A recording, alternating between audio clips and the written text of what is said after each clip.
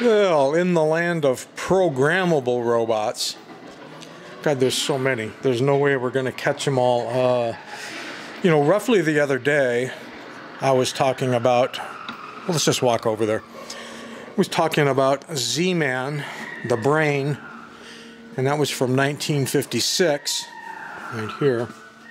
And the thing about Z-Man was when you lift this head back, there are 20 switches up there that you set. There's a mechanical sequencer that then selects through the switches.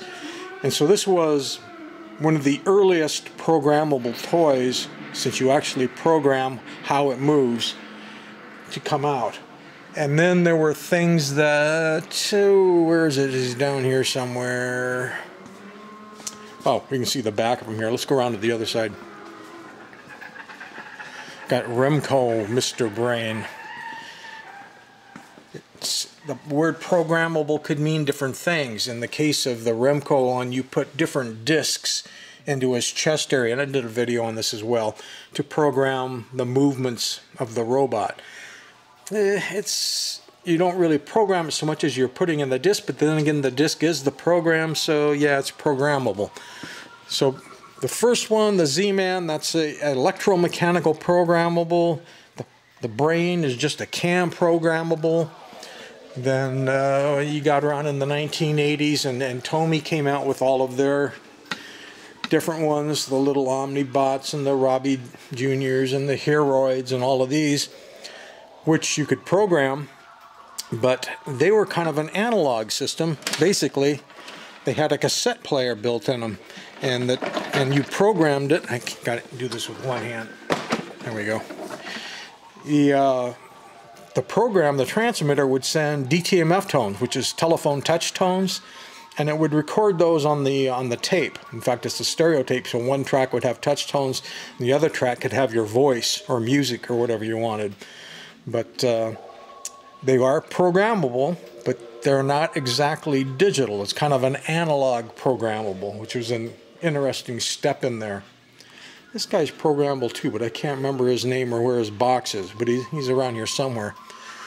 Then, of course, there was um, all kinds, where are the larger ones? All kinds of large programmable robots. Because you had your large Omnibot 2000 right there and it works exactly the same way that the uh, small Omnibots did. But then you had uh, Big Macs. Now, Big Macs differed from the uh, Tomy things in that it's all digital. If I remember right, it had a Z80 computer inside or something like that. Anyway, it's a fully digital programmable robot, and it's actually more sophisticated and costs quite a bit more money.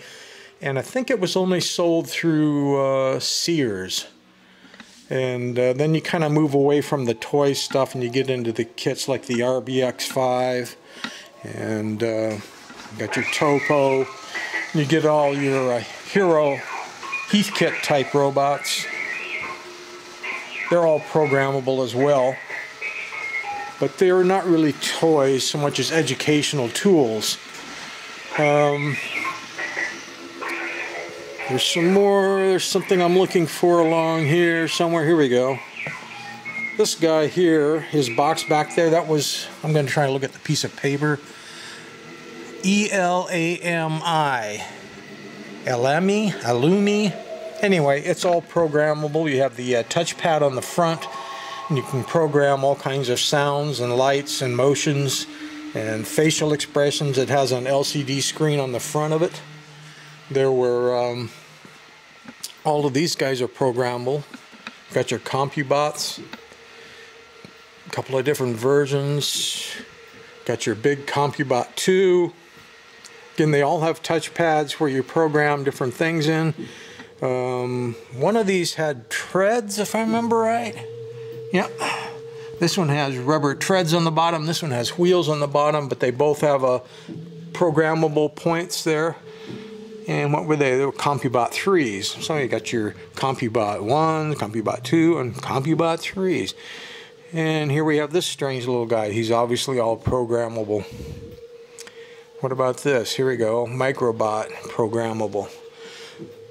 Those are all digitally programmable, but there was also, I've got it around here somewhere. I haven't seen it in a long time, but I want to think it's over on this side.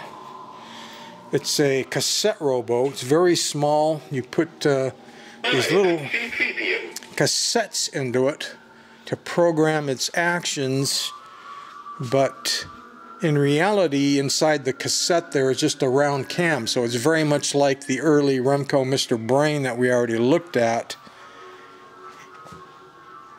Huh. It's still with its box. I know it's uh, mint in box wherever it's at. I want to think at one time it was here. It might have gotten moved to another area in the building. But if I remember right, it was just called Cassette Robo. Could could be over here. Let's take a look on this side. It's small enough that uh, I could actually be looking right at it and not, uh, not even realize that I'm staring at it.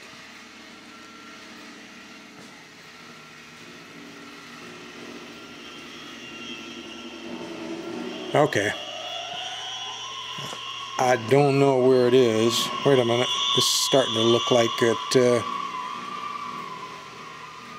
laser bot, bots.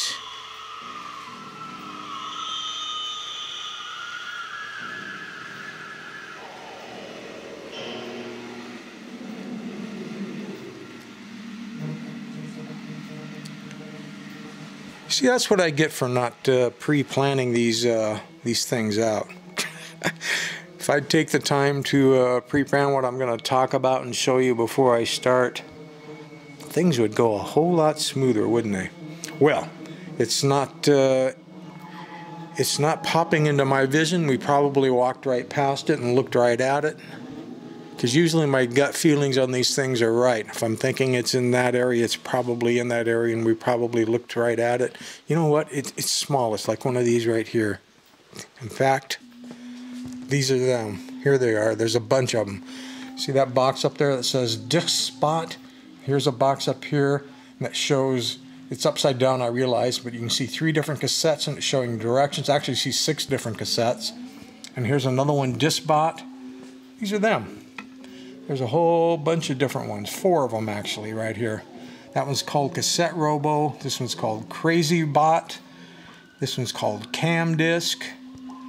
You got all of these different ones, and you plug the little cassettes. This one, see, there's nothing in that one. These ones all have something already plugged into them, and they uh, are programmed that way and perform the function that's on the disk. And even though that's upside down, that gives you an idea how you can get different paths, straightforward, turn, circle, just all kinds of stuff.